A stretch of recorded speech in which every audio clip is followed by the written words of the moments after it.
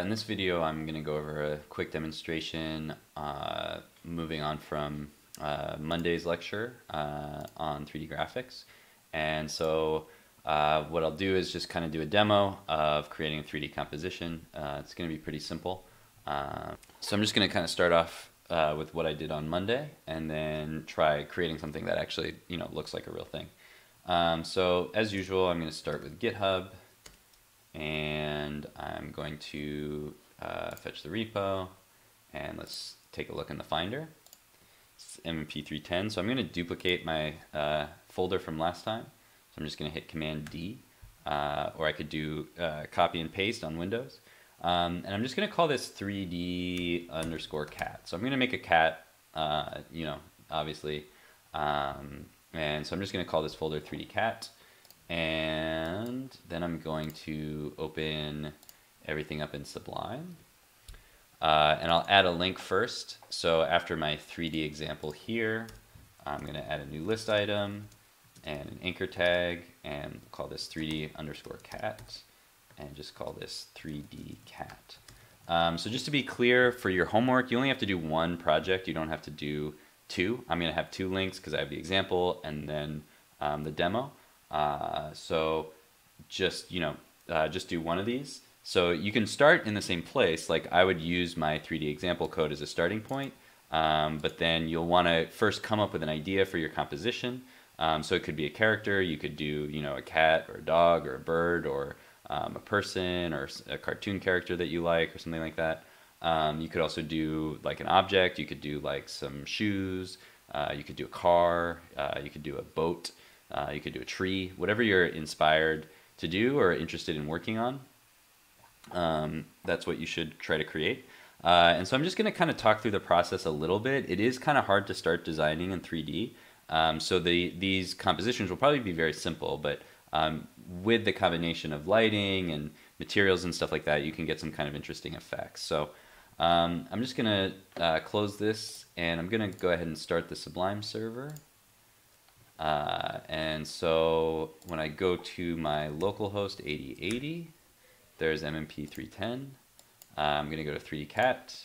Uh, and this is the scene where I left off last time, um, where I just have some scene controls to rotate so I can see all the geometry. Um, and I have a little interactive lighting so I can kind of see what's happening in the scene a bit. Um, and then I just have some shapes. So I'm going to try to turn these shapes uh, into a real composition. Um, so I'm going to get started with that. I want to open up the console just so I have that ready in case I have some errors or something. Um, so I'm going to go to 3DCat and uh, open up index.html, just change this title to 3DCat, and let's go to sketch.js. Um, and I'm going to leave these uh, rotation controllers in. Uh, you know, they don't have to change. It's just to make it easier to view the scene. Um, you might not want to have this in your final product uh, if you just want to, you know, the scene to stay still. Um, but it is a nice way to allow the user to kind of move around in the scene. So I'm just going to leave those the way they are. Um, and then I'm going to, I should probably put a comment here, rotation controls. Um, all right, so I'm going to leave everything the same up to the floor. Uh, so I want to have that floor in there just to kind of orient um, the user or the viewer in the scene. And I might change the late lighting later depending on what my scene looks like, but I'll, I'll probably leave it. So I'm going to leave the floor the way it is, but I want to take out the rest of this stuff down here and just start from scratch. So I do want to leave these rotations in so the controller will stay the same. So I'm just going to delete everything that comes after here and then just say cat here. So we'll start our cat. We can still uh, so we'll start our cat. We can still rotate the scene. So uh, for the cat head, I'll start with the sphere. I'll just do 100 pixels wide. Um, so that looks pretty good. We're going to have a kind of shiny cat. Uh, we can change that later if we want to. Um, and if we rotate the sphere, nothing really happens because um, you know, the sphere has the same dimensions in every direction. So if we wanted to have the cat's head be, uh, you know, maybe a little less uh, wide or a little less tall, we could use an ellipsoid instead. So I could go to the um, reference. Uh, didn't cover this last time, but there is a shape um, that's sort of like the sphere, except we can change the width and height, which is the ellipsoid. Uh, so we could use one of those instead. So I'll replace sphere with ellipsoid, and then let's just maybe uh, make it 50 and 50 on the x and y. See what that looks like. Um, so that's kind of nice for a cat head. It's a little bit like a little bean, but you know we can add some stuff to it. Uh, maybe I'll make it bigger overall, so I'll make it like 200 um, and then 100 on the Y. And then on the Z, it's really skinny. It's probably like too skinny. Let's do 100 on the Z. Okay, so now we've got this like kind of weird bean to start with. Um, so that'll be the head for my cat. Actually, let's let's bring this in a little bit. Let's say 150 here. Okay, so that's kind of nice starting point just a circle. You might do it the other direction, like taller than, than wide, but I think this will be good for the cat, uh, for the head. Um, so let's just say that's the head and keep moving. Uh, so now let's make some ears. Obviously, the thing that makes a cat look like a cat is usually the ears. So let's do some ears. So when I'm designing here, I'm probably going to want to do push and pop like right from the beginning because um, that way I don't have to worry about translating around. So I'm going to start with a push here. And I'm gonna uh, just add a cone for the first ear, um, and then we're gonna move it around. So I'm just gonna say cone.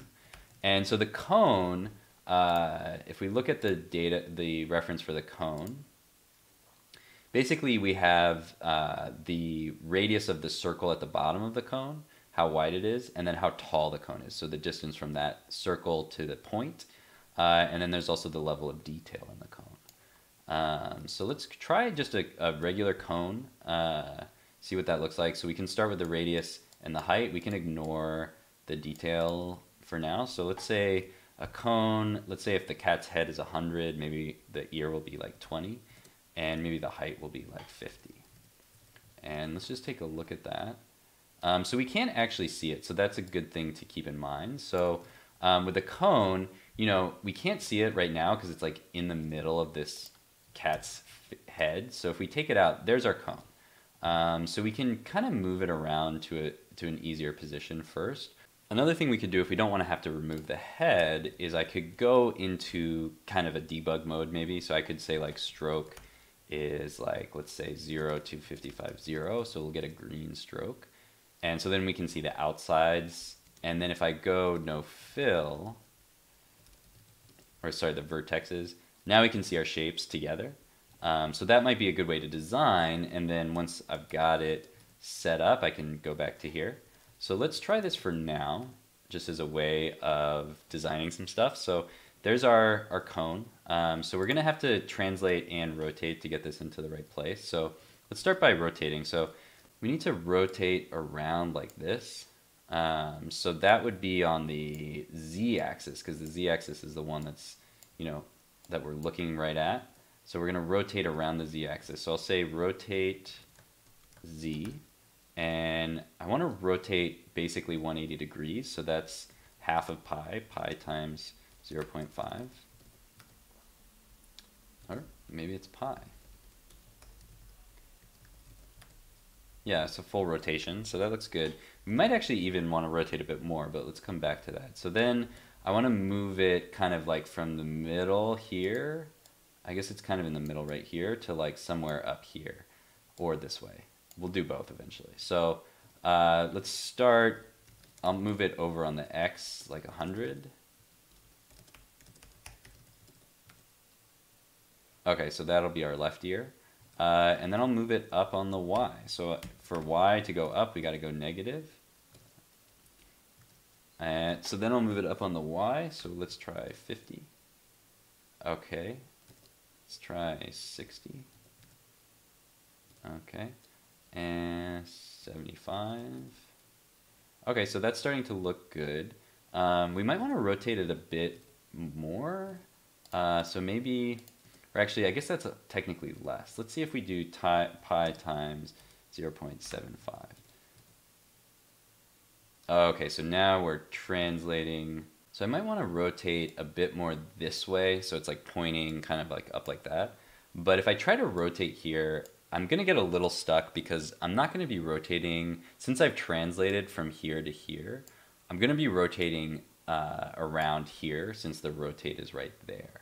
Um, so I can turn off the translate real quick and reset the rotation. Um, so let's try pi times 0.75. Okay, that's like a little too far, I think. So let's try 0.8. Okay, that looks pretty good. I'm just going to go with that. So now let's retry our translation. Okay, so now we're a little bit different. So let's bring back x a bit and increase y a bit and keep going like that. So basically with designing in 3D, uh, it's a little trickier because you kind of have to move stuff around a lot. Uh, let's try 140. All right, that's pretty close. I'm pretty happy with that. I'm just to leave it for now. I could kind of move it around. Um, I'm to move the controls a little bit just to see. That looks pretty good. I kind of want it to be bigger. So let's make the radius bigger. It's too big. Okay, so that's a good radius. I'm fine with that height. So that looks pretty good. So um, I'm happy with this. I'm to pop so that it doesn't affect my next ear. So let's call this the left ear. So now I could just copy this and just kind of reverse the translation. So one way I could just copy this, paste down here, and instead of, so I could just kind of reverse things. So I could multiply by a negative rotation, and then x will be negative. So that's one way I can fix that, uh, is just to kind of do the opposite. y is the same because they're both moving up. Uh, but one x is going this way, one x is going this way, and one rotation is going that way. The other rotation is going that way. Um, but I want to do this in the opposite direction just so we can see how to do the same thing in different ways. So I rotated first, which meant that I had to fix the rotation and then do the translate. What if I translate first? How does that change things? So let's try that. So I'm going to take out this rotation. I'm going to translate and I'm going to try to translate, so I'm going to go over 40x 0 or 140y. See what that looks like. Okay, so that's my rotation. That's my translation before I rotate. So actually I want to go negative on y. Uh, and I want to go a little bit farther on x. Um, and now I'm going to try to rotate this into place. And so then I'll try to figure that out. So it's going to rotate from here. So actually I need to probably move this down a bit. Let's try 100. Okay, so now I think I can rotate. So if I rotate second, it's going to change where I'm rotating from. So now I'm translating to here, and so I'm just rotating around the cone. So it's a little bit easier this way because I know where the origin is, and then I can do the rotation based on that as opposed to doing the rotation and then resetting the translate. So now I'm going to try rotating by pi, see what that looks like. Okay, and then I'm going to go a little bit, I guess I could go farther than pi, so I'll do, I'll try 1.2 since that's like 0.2 in the other direction. Okay, and that got me pretty close, so now I'm just going to translate a little bit farther and a bit down. Okay, too far. Okay, so that's pretty close. So you can see the two different approaches. I can translate first or rotate first. Um, but I'm pretty happy with that. So let's take a look at how it looks with our regular thing. So one of the ears is a little bit like off the head, but that's okay. Um, it's pretty good. It's not perfect, but it's pretty good for now. Um, so let's do the eyes, uh, and then I think we'll be good. So we've got the ears. Let's do the eyes, and then we'll do a mouth, and then I think we'll be good after that. So um, for the ears, uh, for the ears, I'm gonna do a couple toruses so we can get the, the for the eyes. I'm gonna do a couple toruses uh, so we can kind of see the eye. Um, so I'll start with the left eye, or we'll see if it's the left eye. Um, so for this one, I'm going to do a torus. Um, it's an eye, so I'm going to make it a little smaller. I'm going to do push and pop. Um, I don't see it right now, so I could also just try to bring it forward instead of changing the view. So I know it's like somewhere inside of this um, circle or the cat's head. So I'll just bring it forward a bit on the Z. So the Z axis is coming towards us. And so if I increase it, it'll, it'll be in front of the cat. So if I do like Z is 50, um, we don't quite see it. What if I do Z is 100? There we go. So there's our torus. Okay, so that, I guess if I was doing like a astronaut cat, I'd probably be done, but let's make this into an eye. Um, and if I want to change the material here, actually let's do that second. So I'll make the eyes and then I'll change the material. Um, so I obviously want to make it a bit smaller since it's an eye. So let's try 20. And then with the with the torus, if I if I want to change the inside, I can do that as kind of the second um, uh, parameter. That's the radius of the tube. So if I say like 10, I guess that's actually what it already was. If I say 20, so now the tube radius is the same as the circle radius, so it's kind of like this squished thing. Okay, that's kind of funny, you might like that, or maybe we want to make this a little bit bigger, or we want to make this a little bit smaller. Um, however you want to do it, that looks pretty funny, so I'm going to stick with that. And then I just want to move it uh, to the left. So for the left, that means x is negative. So let's translate maybe negative 50 on x. Okay, and then let's move it up a bit. Let's do negative 50 on y. Uh, that's too far. Let's try uh, 25. Okay, so that that's not so bad. That's pretty good. Um, one thing is that the torus kind of sticks away from the the face a little bit, so I could rotate this slightly uh, on the x-axis. I could rotate it back a little bit, but I don't really need to do that. Um, I'd still get mainly the same effect, but if I wanted to try that, I could say rotate x, uh, and then I'm just going to move it back a tiny bit. So I'm going to say pi times negative say 0 0.1. See if that looks right. Oh, that was actually the wrong direction. So let's just try 0.1. And that's pretty close. That's not so bad. Uh, if I do 2, that's probably going to be too much. Yeah, now it's like sticking out the other side. So let's do 0.1. That's pretty good. I could also probably rotate it like this way a bit, but then I'm getting kind of anal there. So let's just see if I can get it. So this would be rotating on the y-axis because that's the this one. So let's try rotate y pi times 0.1. We can just try it. If it doesn't work, you know, we can always get rid of it. So that was the wrong direction for that one, so I'll just try negative. So you kind of have to go back and forth a bit. And so that actually looks pretty good. And you get some kind of cool effects at certain points of the lighting. Um, so that's not bad. So let's add the other eye and then we'll be done. So with this one, I am just going to copy and paste because that was kind of hard to figure out. I'm not going to try to figure it out again. So I'm just going to paste the whole thing. This is the right eye. I'm just going to move the opposite direction on X, uh, same direction on Y. So we're going to move that way.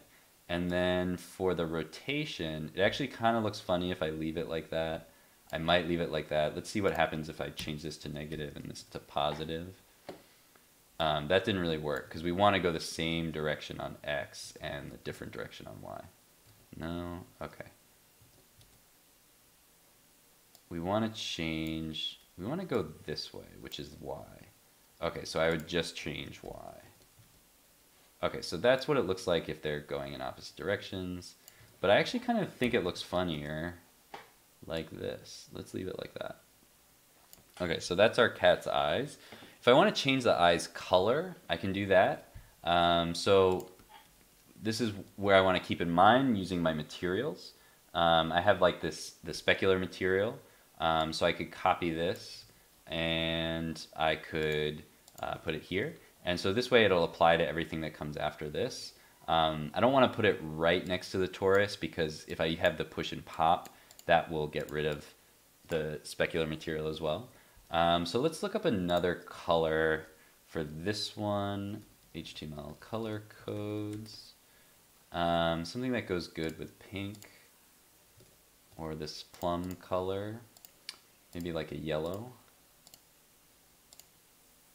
Uh, we could try uh, maybe the light yellow. Looks kind of nice. 255, 255, 224. So let's try that. 255, 255, 224. Mm, it's not enough difference really there. Let's try another brighter color. Maybe we'll do gold. So gold is 255, 215, and 0.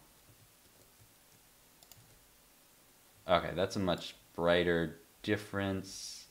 It's kind of they kind of look like donuts now, but you know, they already kind of look like donuts. So I'm just going to leave that for now. That's pretty good. Okay, so the last thing I want to do is add something for the mouth. Um, I'll just do some like kind of teeth because I do want to show um, something that we learned a few weeks ago, which is the for loop, using a for loop with this. Um, so I'll start with one tooth and then just show how to make the for loop. So uh, let's go down here and say this is the mouth. And I'm going to use a box for a tooth. I'm not going to spend a ton of time on this. So let's just say a box. Let's say it's 10 wide and 20 high. Uh, and let's see how that looks. So we can't see it, so we got to bring it forward a little bit. So let's do a push and a pop. And let's translate. So I'm going to translate 0, 0, and let's bring it also 100 forward on, on Z. Okay, there's our tooth. All right, so let's move that down a bit on the Y.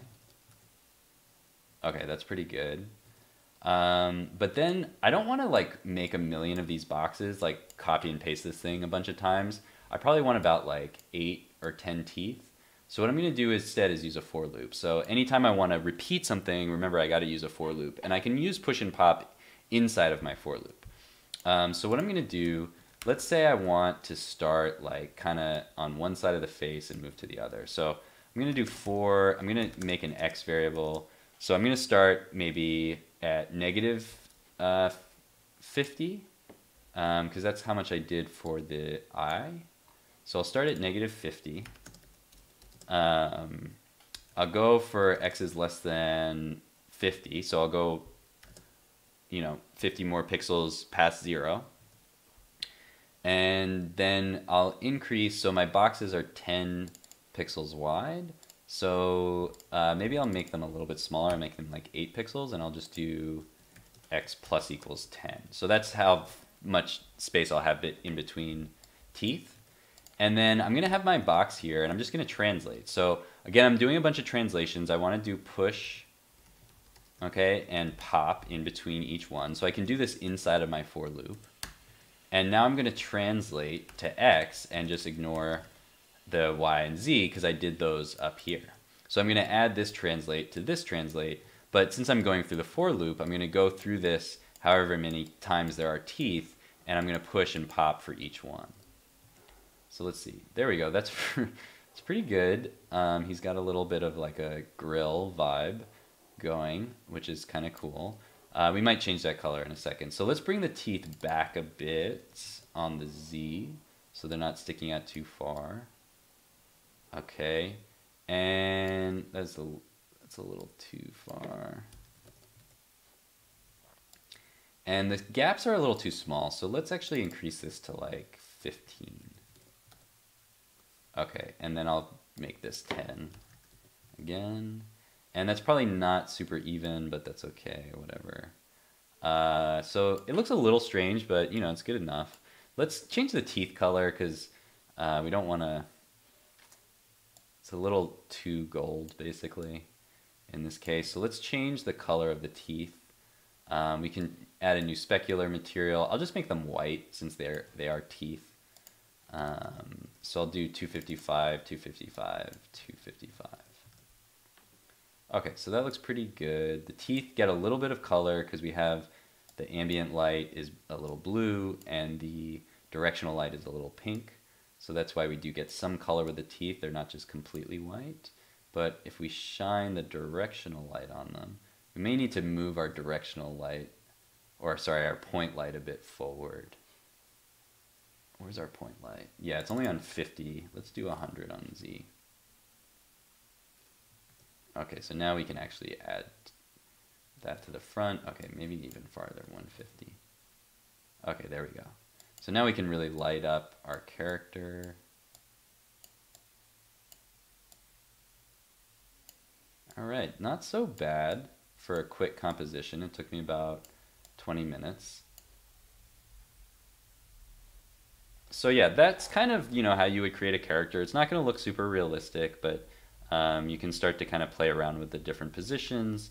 Um, and make sure to also play with the lighting. So I don't want to see a bunch of scenes that have the exact same lighting. So play with the lighting as well, just so you can get different effects with the color, different moods if you have dark lighting versus very bright lighting.